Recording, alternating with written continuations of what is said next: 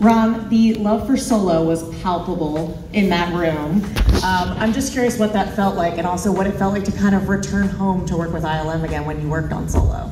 Well, uh, re- returning with ILM was, of course, great. You know, Rob Bredow, fantastic, and but, but- but then I, I- you know, I, I have a lot of confidence in uh, you know any relationship with ILM, um, and also with with special effects. Although it was exciting to see that uh, you know some of the some of the breakthrough.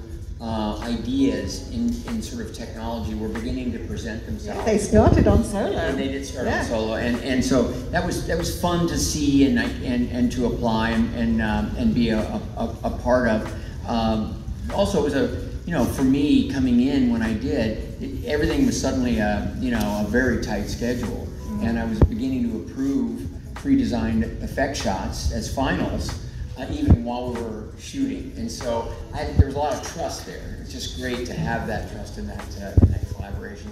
And as far as the, the sort of love for uh, for solo, of course, it's incredibly gratifying, and it means uh, you know a lot to the cast. A great young cast who put their heart and soul into the movie, and uh, and so you know it means the world that somehow the the, the, the film uh, resonates with Star Wars fans. That's you know that's uh, that's, that's all everybody hopes for. Yeah!